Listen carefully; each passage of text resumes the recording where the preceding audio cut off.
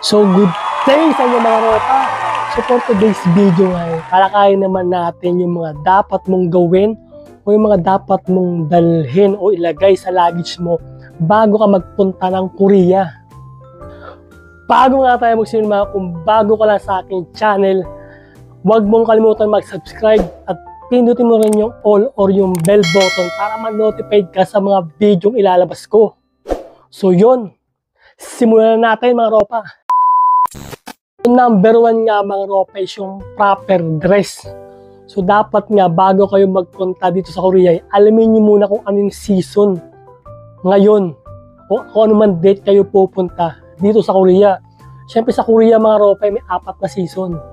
So yun nga yung winter, yan yung November to March, uh, middle ng March. Tapos yung spring naman is yung middle ng March o third week to fourth week ng March hanggang May. Tapos yung summer naman mga ropa is yung June to August. Yan ang summer. Tapos ang autumn naman mga ropa is September to November. Yun. So yun, dapat mo lang yung aalamin yung damit na gagamitin nyo o dadalihin nyo dito sa Korea. Siyempre dapat ano, uh, tugma sa may season. Yun. Pangalawa mga ropa yung adapter or charger ng cellphone nyo. So iba nga ang mga saksakan nito mga ropa. So dapat nga ang dala yung charger is yung type C or yung type F.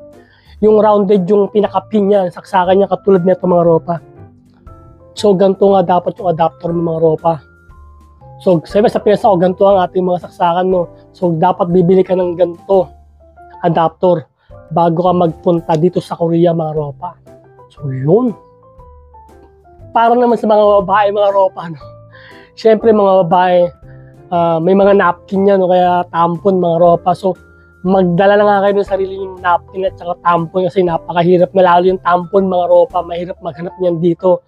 At saka dito pag bumili ka mga ropa, medyo mahal siya. At saka hindi sa atin, nakakabili ka ng tingi. Dito walang tingi mga ropa. Isang ganito nga siya. Di ba? Mas maigi, magdala ka na ng sarili mong napkin. Para sa babae naman yung mga ropa. Yun. Next naman mga ropa, magdala na rin kayo ng sarili nyong gamot.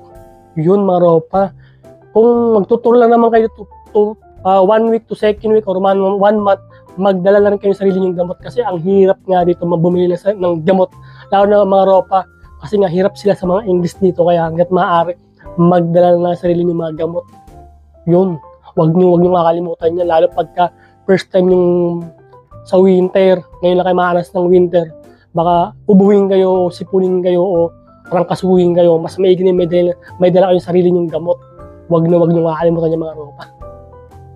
Next thing mga ropa, magdala din kayo ng uh, proper shoes nyo mga ropa, yung sneakers mga ropa kasi sigurado mapapalakad kayo rito lalo pag nasa may soul kayo.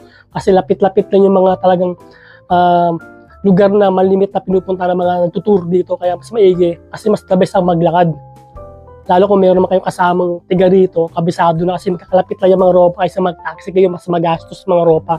Kaya mas maigi magdala kayo ng sapatos na mas man, komportable sa paa nyo para kahit maglakad kayo, okay lang. Kasi la, pag yan, nag, nagpunta kayo dito, summer, tapos naka-heels kayo, ropang sakit sa paa nun.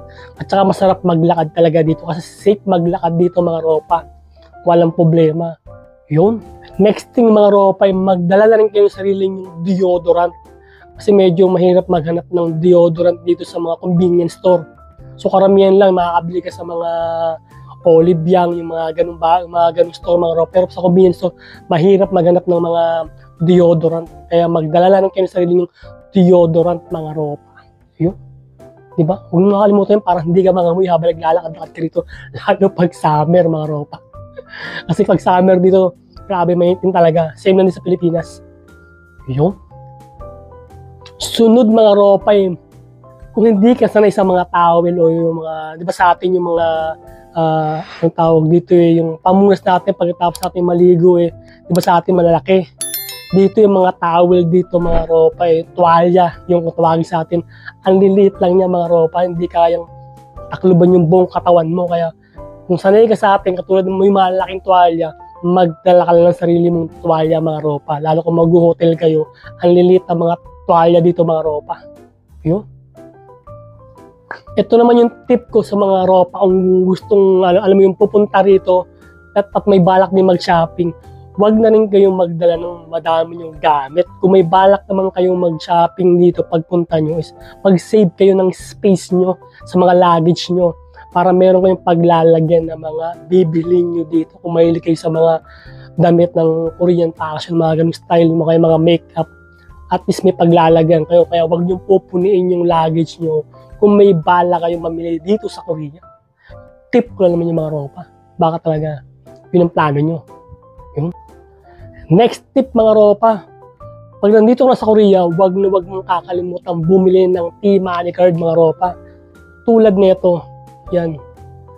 Yan, T-Money card yan mga ropa. So magagamit mo nga to pag sumakay ka ng subway train, bus, at saka taxi. Ito lang gagamitin mong pambayad. Yan mga ropa. So nga, pagka bibili ka nito, cash, cash mo siyang, cash talaga pambayad, at saka pang reload cash din. Kaya kailangan may cash ka.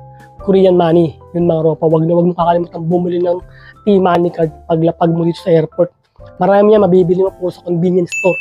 Doon ka na rin makapag-reload nito mga ropa. Yun, wag na wag mo kakalimutan ko mga ropa. Next tip mga ropa eh, magdala talaga kayo ng cash. O kaya pagdating nyo ng airport, eh, papalitan nyo ng Korean money, yung dala nyo dollar o yung ano man dala nyo pera. Basta papalitan nyo ng Korean money. Kung may balak naman kayong mag mag-shopping o mamili dito kahit ano, kumain sa labas sa kanto street food mga ropa, mas the best may dala kayong cash. Kung may visa card naman kayo mga ropa, wala rin problema. Kaso nga lang medyo hassle lang talaga. Kaysa yung may cash ka. Tip ko lang yung mga ropa. No? Mas maigi yung may Korean cash kayo dito. Next mga ropa, no? dito nga sa Korea mga ropa, ang daming free wifi. So kung gusto mo mag-update sa mga social media mo, no problem mga ropa. O kaya sa pamilya mo, tumawag ka. No problem.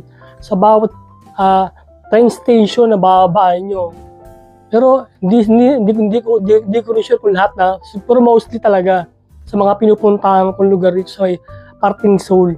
Talaga ang daming free wifi. Kaya kung kung nangangamba kayo o hindi kayo nakapag-rooming, no problem mga ropa.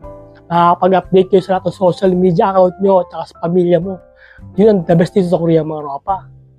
Yun! Hanggang dito na nga lang ating video mga ropa. So sa mga bago nga lang sa aking channel, huwag mong kalimutan mag-subscribe at pinutin mo rin yung bell button o yung all para ma-notify ka sa mga video lalabas ko. So stay safe. God bless us all mga ropa. Bye-bye!